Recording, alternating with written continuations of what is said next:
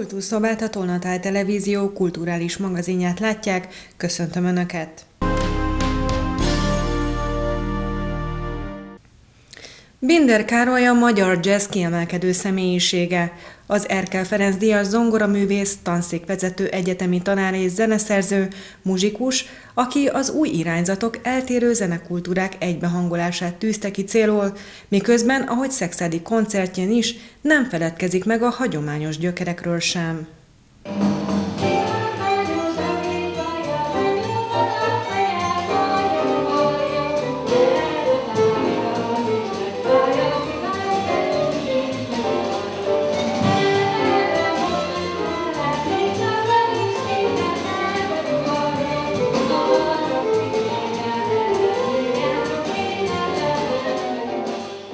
szól a műfajok egymásra találása.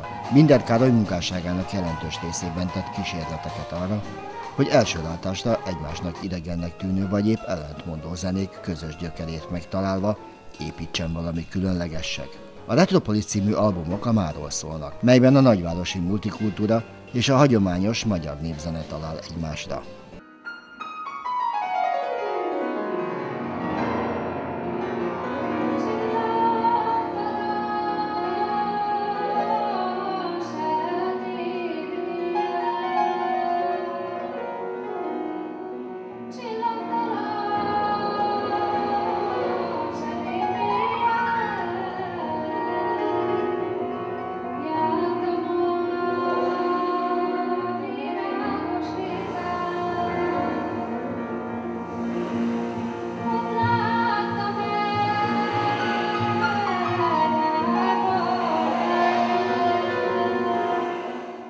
Az inspirációt az élet adta, mesélte a történetet Binder Károly.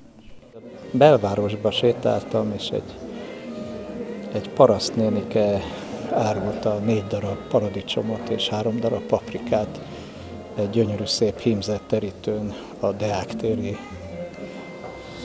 metró lejárónál, és ez engem ilyen torokszorító erővel fogott meg, és gyakorlatilag a Retropolis név is innét ered, hogy gyakorlatilag egy üveg palották és felhőkarcolók és egy belvárosi életérzés közepette egy erdélyi parasztnénike ott ült, és hihetetlen megható volt. És én azt mondtam, hogy egy olyan zenét szeretnék írni, ahol ezeket a kultúrákat átmentem, és gyakorlatilag nem a parasztnéni a másodrendű ebben a kultúrában, hanem első számú főszereplő, és minden, ami körülötte van, az csak egy mulandó dolog. Reménykedünk, hogy ezeket a kultúrákat meg tudjuk menteni és megőrizni. Tudnék, ezek hihetetlen erőt jelentenek, és ezek kincsek gyakorlatilag. Na, és folytatva eltelt elég sok év, és megszületett a Retropolis 2-es album, amihez társakat keresett, és megint az élet játszott a kezére. A jazz tanszék és a népzenei tanszék egy épületben van Budapesten. Akárhányszor belépett, kénytelen volt népzenét hallgatni. Így jött a találkozás Pál István Szalonnával és Zsikó Zoltánnal, meséli Binder.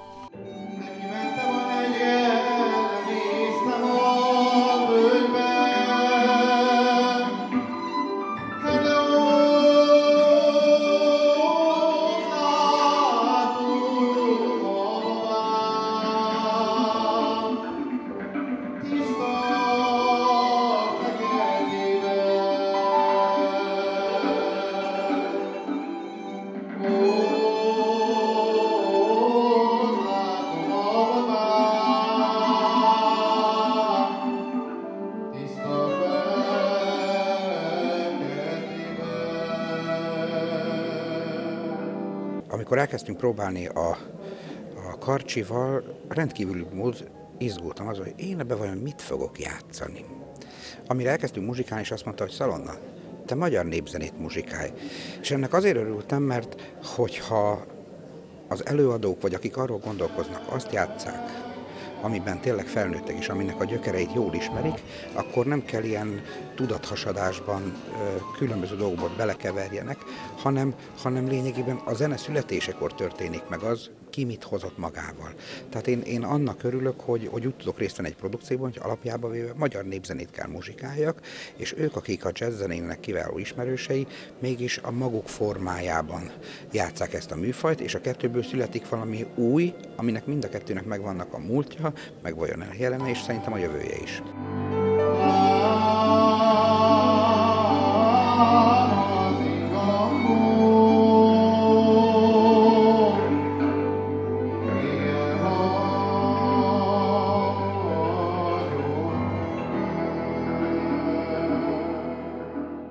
Az a különleges, és az a nagyon kellemes ebben a formációban, és ebben a, ezen a fellépésen, hogy gyakorlatilag nekem ugyanazt kell csinálnom, mint akkor, amikor a saját zenekarommal, vagy adott esetben a szalonnabandával, vagy más zenekarral játszunk autentikus magyar népzenét. Ennek a koncertnek pont az a lényege, hogy a népzenészek a, saját, a népzenét játszák, tradicionális magyar népzenét autentikusan, és a művész úr a zenekarával, a kvártett pedig hozza alá a jazz formákat, és tulajdonképpen az ő elképzeléseit valósítja meg, és ebből lesz egy nagyon érdekes fúzió a magyar népzene és a jazz között. Úgyhogy hál' Istennek én azért is vállaltam egyébként el ezt a produkciót, mert nem kell saját magamból kiforduljak, hanem gyakorlatilag azt az értéket kell képviselnem, amit egyébként én népzenészként teszek.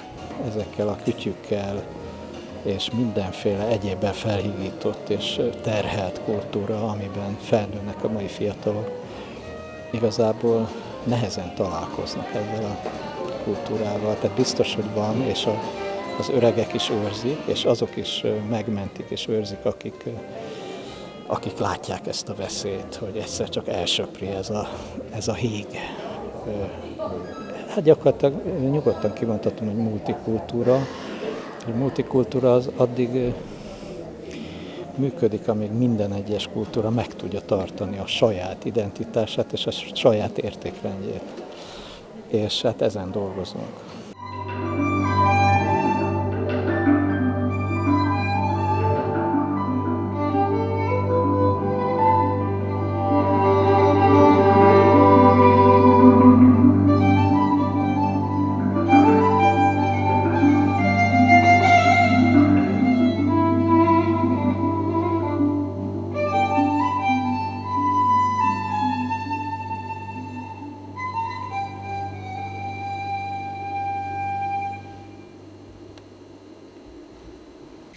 Egy óra belőlünk címmel rendeznek minden esztendőben bemutatót a Garai János gimnáziumban azok a diákok, akik a művészet valamely területén kiemelkedő tudással bírnak.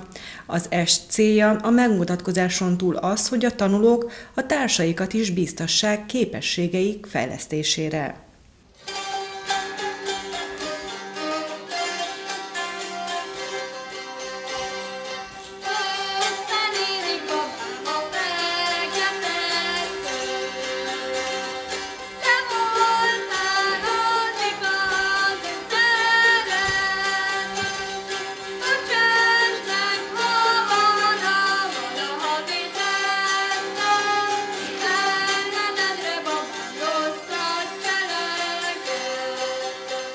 Nem mai keletű a kezdeményezés a galaiban, hogy a művészetek területén okultabb diákok megmutassák tudásukat a többieknek. Így találódott ki az egy óra belélünk elnevezési produkció. Azok a tanulók, akik kimagaslót nyújtanak a tananyagon kívüli tudásukkal, más megítélés alá esnek a többiek szemében, és tegyük hozzá gyakran vélhetően a tanári kaléban is. De a művész csemetéknek nem csupán ezért fontos, hogy színpadra álljanak. Még amikor a tesóm zongorázott otthon, én nekem már, én is csapkodtam otthon a zongorát, és megtetszett. És engem korán be is irattak, és azóta csinálom. Azt, hogy megmutathatjuk, az minden jobb érzés, mert sok gyakorlás után mindenki csak azt látja, hogy hú, de jó neked, hogy tudsz zongorázni, de senki nem látja, hogy mennyit gyakorlunk. Ezek a hangversenyek azért fontosak elsősorban nem, hogy megmutassuk, mit tudunk, hanem hogy másoknak esetleg örömet szerezzünk a zenével, illetve ezekkel a darabokkal, amiket játszani fogunk. Az osztályomból, mert így ezt így tudom, hogy hogy nagyon nem érdeklődnek a zene iránt, és az ilyen események iránt, szóval így elég nehéz rávenni őket, hogy egyáltalán eljöjjenek, pedig szerintem, hogy egyszer eljönnének, és rendesen végighallgatnák, akkor nagyon megszeretnék, mert én is például nagyon-nagyon szeretem, de emellett még sok minden mást, és ugye másfajta zenéket, meg más stílusokat is, de ezek is nagyon jó hatással vannak szerintem mindenkire, szóval érdemes lenne eljárni ilyen rendezvényekre, hogyha már egyszer van az iskolában is. Megdicsérjük egymást, meg ugye a többiek is mindig mondják, hogy milyen ügyesek vagyunk, meg minden, de így, hogy így hosszabb ideig hallgassák, ez így nagyon nem, nem kötné le őket szerintem, szóval igen, sajnos.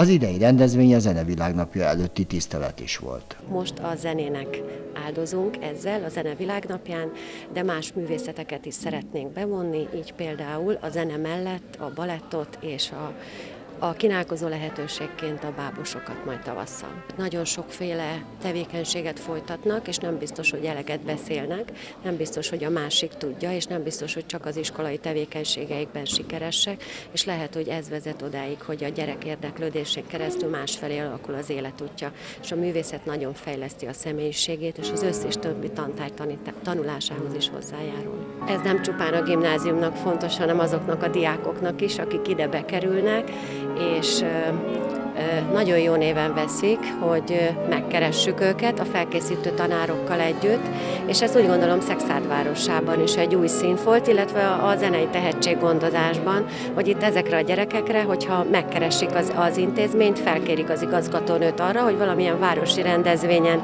képviselje a Garai Gimnázium Szexárd városát, akkor örömmel adunk hajt ezeknek a rendezvényeknek, és a zeneiskolás tanárok viszont örülnek, mert lehetőséget kap, nem csak a zeneiskola iskola falai között mutatkozzanak meg ezek a diákok.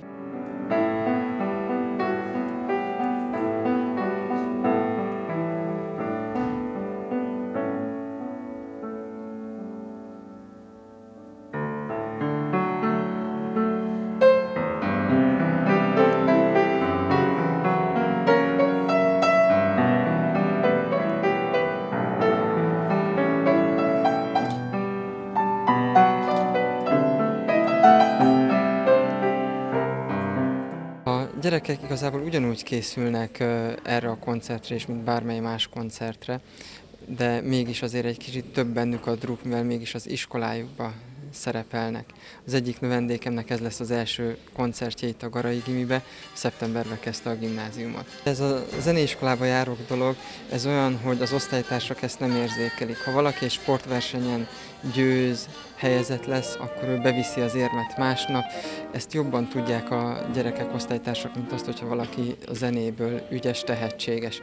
Ez a koncert, ezek a koncertek alkalmasak arra, hogy ilyenkor az osztálytársak, és nem csak az osztálytársak, hanem a tanárok előtt is megmutassák a gyerekek, hogy mit csinálnak délután. A gyerekeknek fontos, hogy azokat a dolgaikat is elismerjék, ami nem az iskolához kötődik. Ez lehet sport, és egészen más is. És jól esik a diákoknak, hogyha azt valaki észrevesz, veszi, sőt azt is, hogyha esetleg ennek valamilyen írott formájában ezt valaki meg is jegyzi nekik.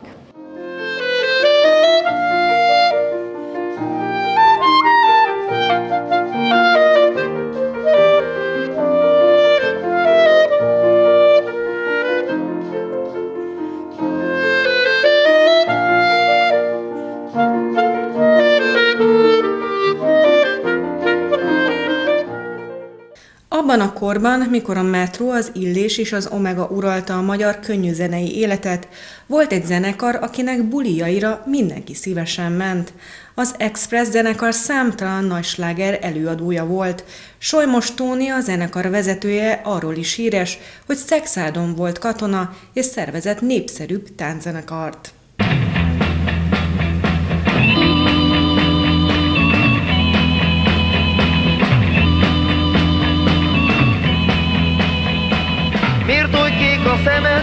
És jó az alakod, elfog egy kis furcsa láz, arra gondolok, miért vagy te másik.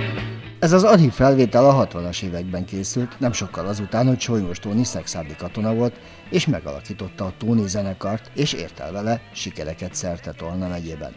A szexádi nyugdíjasok ifjúkorukat élték abban az időben, és sokan jártak a népszerű katonazenekar táncestjeire. Solymos Tóni 50 év után találkozott egykori együttesének tagjaival. Nekünk előről kellett kezdeni, és egy műsor kellett, egy, igaz? Egy repertoárt kellett csinálnunk. Tehát előről a nulláról elindulni, a Józsinak, és akkor én voltam a főnök, megmondtam, hogy mit fogunk csinálni, a nótákat szétírtuk meg, gyakoroltuk minden, szilveszterkor állt a buli, és gyerekek, olyan zenekart csináltunk, hogy két éven keresztül itt a környéken, és mindenhol, minden buli, amilyen volt, a gimnáziumban, a Szalagavatóbán, a Ballagóbán, Bonyhádon, Bátaszéken, amerre jártunk, mind Tolnán, mindenhol, mindent mi játszottunk, az orosz laktanyában mi játszottunk, a, mit tudom én, az Úristen nem tudja, hova el nem utaztunk, Kun, Kunhegyesre, meg nem tudom, hova vittek minket. Nem volt egy kis mutatvány, de megcsináltuk. Fantasztikus, jó dolog volt. Ilyen zenésztársakra találtam, akivel két évig tulajdonképpen bearanyoztuk egymás életét. Fantasztikus volt. Ilyen szép két év, az, az én kívánom, hogy mindenkinek legyen az életébe. Ez, ez itt, ebben benne van a csapatjáték, a, a, a fejlődés, a szeretet, a barátság, és ez, ez a barátság, ez az, ami örök életre megmaradt, ezt nem lehet kitörölni.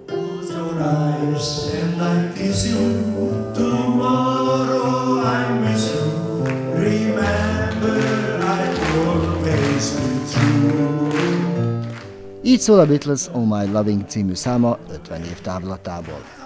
Aztán jöttek az expresszévek, és bár nem tartoztak a sztárzenekarok közé, náluk mindenki jól érezte magát. Évtizedeken át voltak a táncdalfesztiválok kísérőzenekara, és a Magyar Rádió hivatalos együttese is. Ez egy nagyon kultúrált, nagyon képzett és nagyon-nagyon jó zenekar volt. És tényleg meghatározói voltunk a szakmának, ugyanis hiába itt próbálták egy időben egy kicsit ilyen pejoratív módon degradálni a zenekart azzal, hogy kísérő zenekart is játszottunk, ez onnan adódik, hogy minden művész Magyarországon oda volt, és borzalmasan szerette volna, ha őt az Express zenekar kíséri.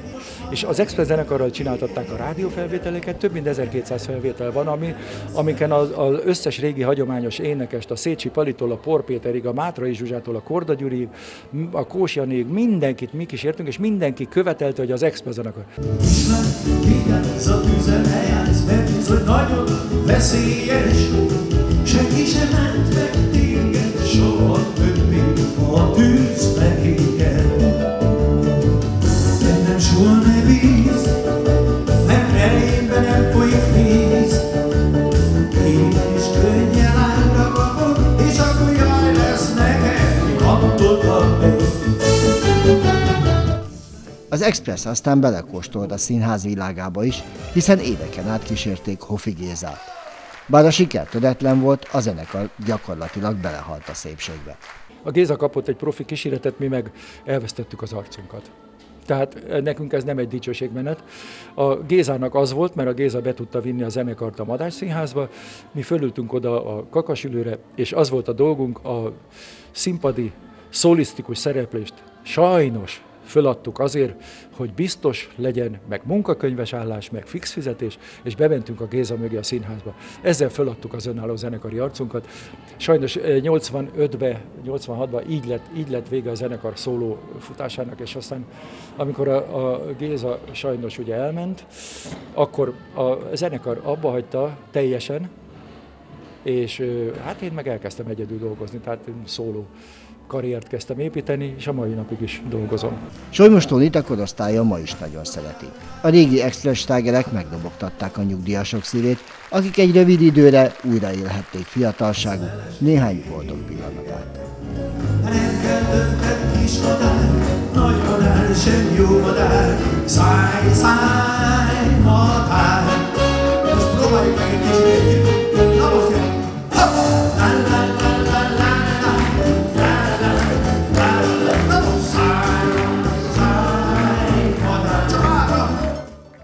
Ezúttal egy avarkori ékszert mutat be a Vosinski Mor Múzeum a hónap műtárgyai keretében. Egy különleges karperec került a vitrínbe, mely egy szexádi ásatás alkalmával került felszínre.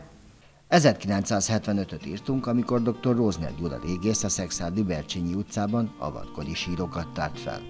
Szexádi jelentős anyaga bizonyíték arra, hogy az avarok szerették a várost, jelentős méretű lakóhelynek számította maga korában. Innen származik ez a pici ékszer is, mely a gazdagságról árulkodik, hiszen a korszakásaival ellentétben ezüstből készült. Azt kell tudni, hogy Szexádon összesen 116 lelőhely van, tehát azt jelenti, hogy a, a lelőhelyeknek, az összes lelőhelynek a harmada az avarkori. Tehát az őskortól kezdve a, a török korig, tehát már itt is mutatkozik, hogy nagy számú lelőhelyel van itt dolgunk, és a temetők pedig arról árulkodnak, hogy a Rózner Gyula által feltárt Bogyiszló úti temető, ott 800 sír lett feltárva a 70-es években, a Tószeg Dűlői Javar temetőben 1600 sír, ugye a több kisebb, a Palánki temetőben 250 sír lett feltárva, de 500 körüli lehet a sírok száma, és ezen kívül is több temető részlet van, ami, aminek ugye nem tudjuk pontosan a, a sírszámát. Összesen 2500-2600 sír van feltárva, és nagyságrendileg a 4500 sírról tudunk, amit még fel lehet tárni a jövőben, de ezek csak azok, amiről tudunk, tehát valószínűleg még van olyan, amiről pedig nem. Ugye a Bercsényi utca is csak az egyetlen olyan temető, ami a város területén van, valószínűleg az épületek alatt van több temető is, amit most már ugye nem tudunk feltárni. A restaurálás után megszépült le lett pár ritkaság. Az ilyen típusú karpedecek a 6. század utolsó harmadában, a 7. század elején jelentek meg. A jelenlegi kutatás két típusba sorolja a kültös végű karpedeceket, pécsi, valamint szentendrei típusokra. A hónap műtárgya vélhetően a pécsi műhelyből származik. A Bercsényi utcai karperecpár a kísérőleletek alapján a kora avatkorra keltezhető. A sírból előkerült préselt nagy szívék, préselt kis szívék szintén ebben a korszakban voltak használatban. A régészeti korszakokban, így az avarkorban is általában bronzból készülnek az ékszerek zömében. Tehát ugye ezüstből ritkábban készülnek, aranyból meg még ritkábban. Ugye ez státuszjelző szerepet is hordoz magában. A karperec anyaga ugye gazdagságról is árulkodik, tehát ezüstből készült, nagyon szépen díszített, nagyon jól kidolgozású, tehát ez a Pécsi kör karperecei közé tartozik. Ott kerültek elő az első karperecek, és ott a legdíszesebb, legjobban kidolgozott a karperecnek a mintája.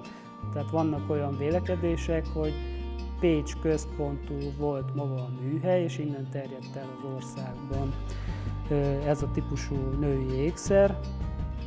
Van a Szentendrei típus, amely egy rosszabb változata ennek, tehát abból is gondolják, hogy minél éjszakabbra haladunk, annál gyengébb a minőség. Itt még vita tárgyát képezi, hogy ez valóban egy külön csoport, vagy pedig tényleg egy pécsi központtal terjedtek el ezek az ékszerek. Ez a tárgy is koraavarkori, és a, az avar korszakot megelőző germán világban, ugye a Dunától a langobárdok, Duna Tisza közén, és inkább a Tiszán túlon a gepidák, mint a világában ez a rombikus beponcolt díszítés, ez megjelenik ugye fémtárgyakon, és kerámia anyagban pedig nagyon sűrűn, tehát hogy ez egy ilyen továbbélő motívum lenne a, a germán és az avar korszakok között. Mindez jól mutatja, hogyan keveredett a különböző népcsoportok díszítő kultúrája, hogyan vették át egymástól és építették be saját szokásrendszerükbe az eredetileg gyökeresen más értékeket, és letettől gazdagabb saját kultúrájuk. Azt jelenti, hogy tovább él a, a mintavilág, tehát valószínűleg a kezdeti háborús időszakok után ugye az avarok legyőzték a langobárdokkal közösen a gepidákat, utána pedig vérszemet kaptak, és a langobárdokat is elődözték Panóniából, ugye akkor költöznek Észak-Itáliába, tehát a Lombardia, a langobárdok alapították, de hát a békés korszak beköszönhetett néhány év vagy évtized után, és akkor pedig egymástól átvették a, akár az ötös művészetet, vagy az edényművességet, annak a díszítővilágát. Az állat és ember ábrázolás nem volt annyira jellemző az avar korszakban, ezért ugyanúgy, mint a honfoglalóknál, lehet, hogy van ilyen vallási áttere is, próbálták ötvözni az emberi és állati alakot a növényi mintákkal, tehát, hogy, tehát, nem, egy, tehát nem naturálisan mutatták be az élőlényeket, hanem ilyen növényi levelekben és indákban megpróbálták elrejteni. Az avalkorból származó ritkaságnak számító szexárdi karperecet ebben a hónapban láthatják a Vosinski Múzeum hónap műtárgyait bemutató vitrínjében.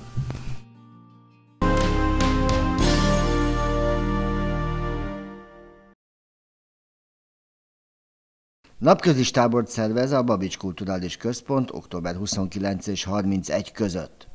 A táborba alsó tagozatos gyerekek jelentkezését várják. A programban kézműves foglalkozások, filmvetítés, népi játszóház, fafaragás, múzeumpedagógiai foglalkozások szerepelnek, valamint kirándulás a Bátai Fekete Gólyaházba. Tíz órait ebédet és uzonalát biztosítanak. Jelentkezési határidő 2018. október 15. További információ és jelentkezés Hajdu Kittinél a hajdukittikukat szexárdagóra.hu e-mail címen, vagy a 0620 428 63 66-os telefonszámon lehet. Minden munkatársam nevében köszönöm megtisztelő figyelmüket, viszontlátásra!